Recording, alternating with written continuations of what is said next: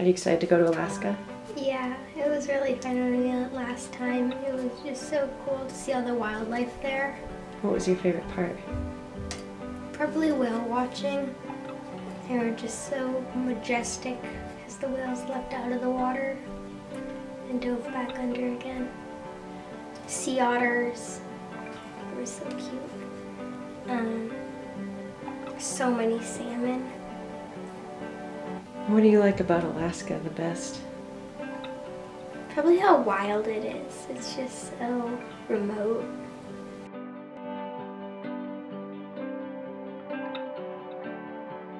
What do you think is the biggest problem facing Alaska?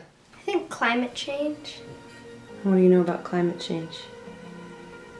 global warming, heating everything up, weather changing, tides changing, storms, droughts.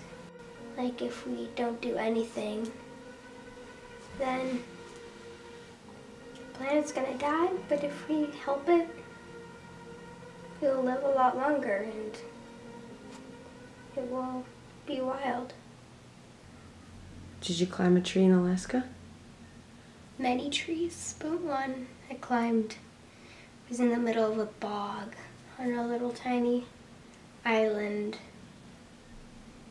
And it was so old and really beautiful. And it was all yellow. It was so large. It was so friendly. Were you scared? No, it was just so sturdy. It wouldn't move. I felt like it would just stay there for another hundred years. What was the view like up there? looked like miles upon miles. Just marsh grasses,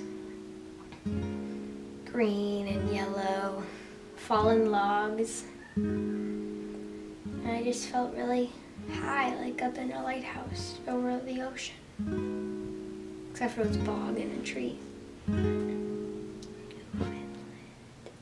What? Finland. Newfoundland. You you love dogs, don't you? Newfoundland dogs. Yeah. They're just so big and black and so large. How long have you liked dogs? As long as I can remember, they've just been so adorable and gentle. Well, most of them are gentle. So unique. Such different personalities. Are you tired of being interviewed? The camera's very close to my face.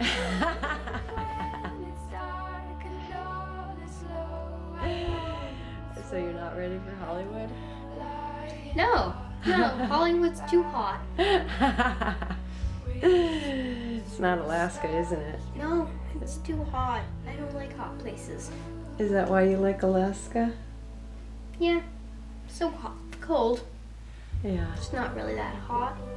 What are you looking forward to most when you get to Alaska? Whales and bald eagles and sea otters.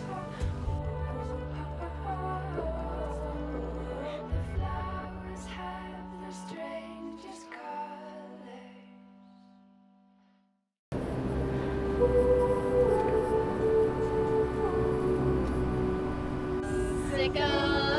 Sicko! Sicko! Look at the gulls. It's never sunny. They're gulls. One, two, three, four, five, six, seven, eight gulls.